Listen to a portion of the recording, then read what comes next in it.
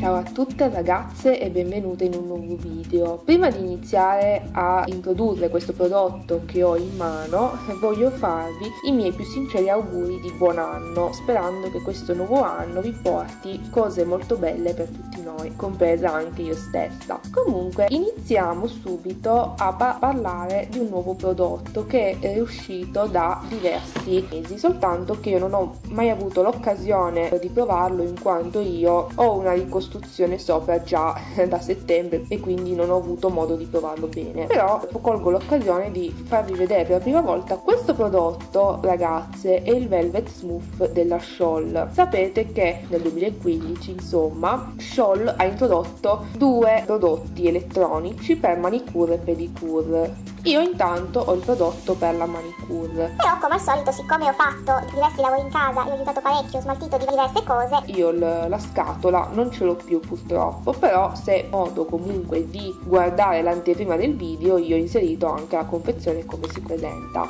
Iniziamo comunque a parlare in maniera più tecnica di questo prodotto. Allora, per prima cosa abbiamo l'anima, serve per azionare il kit elettronico. Si serve di due velocità velocità, adesso non so se riuscite a vederlo, la prima, ovvero la tacchetta numero 1 è la prima la velocità più bassa, le due tacchette indicano la velocità più alta, soltanto che a livello di rumore non c'è grande differenza. E poi all'interno il kit elettronico funziona attraverso la pila, quindi non c'è neanche più il grande disguido di collegarla ad una presa elettrica. In più questa, in questa lima elettronica vengono date in dotazione le tre lime, ovvero la prima lima è la parte più eh, ruvida, ovvero la 1, in cui senso se riuscite a vederla, però questa è la 1.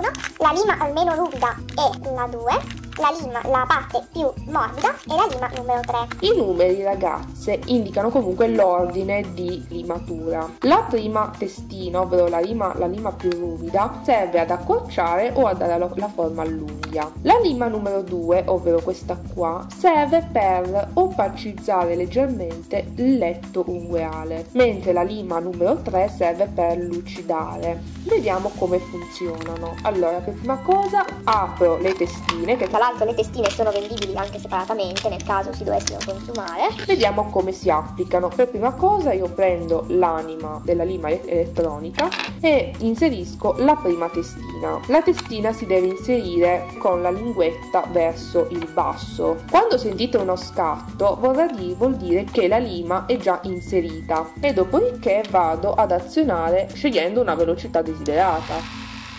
Non so se si riesce a capire.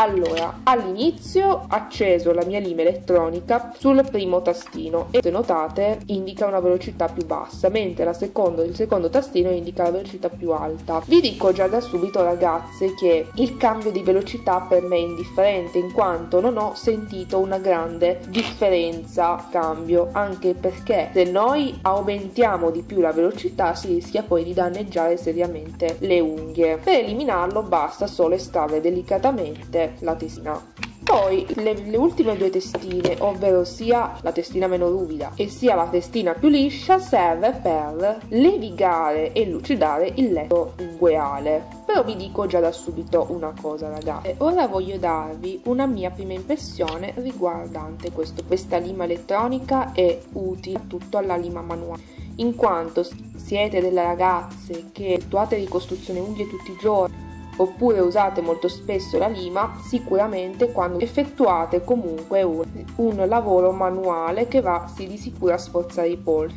Invece questo prodotto è stato studiato apposta per evitare proprio i, polsi quando si lavora di sicuro con una lima manuale classica qualsiasi.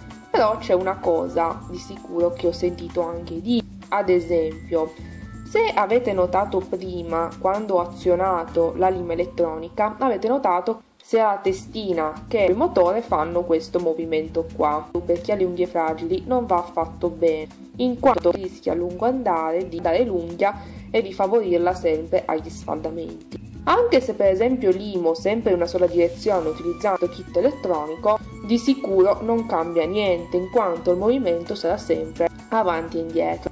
Ultima ultimamente ho sentito diverse recensioni che sono più eh, negative che positive. Io di sicuro non l'ho provato. Vi farò sapere più avanti con una review. Soltanto che io avendo già sopra una ricostruzione in gel è normale che utilizzo prodotti più eh, diversi rispetto alla Manicure classica, che tra l'altro vi farò poi un articolo a parte o un tutorial, poi vedremo. Allora, il prezzo di questo prodotto non vi so dire, penso che si aggiri di più sulle 29-30 euro, però in realtà questo prodotto qui è stato per me un regalo. Non è proprio un regalo di Natale, però è stato proprio un regalo molto affettivo per me. Allora ragazze, io vi ho detto tutto per quanto riguarda il Velvet Smooth, spero soltanto che questo spacchettamento vi sia comunque piaciuto e sicuramente questo prodotto presenterà ha un vantaggio enorme che non va a sforzare la mano polso, soltanto che questo prodotto effettivamente presenta diversi svantaggi, però posso comunque dire che per me come alternativa è sicuramente valida per chi ha pochissimo tempo. Allora ragazze, io spero che questo unboxing vi sia comunque piaciuto. Un saluto ragazze e vi mando un bacione. Ciao!